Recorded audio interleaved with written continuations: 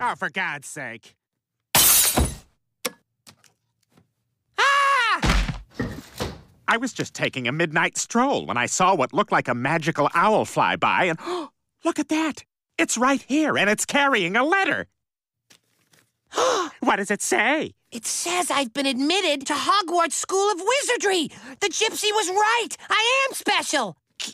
And here I was, thinking you were just a gullible idiot. When do you start? This Saturday. I better start packing. Who deserves a milk Dad? You do.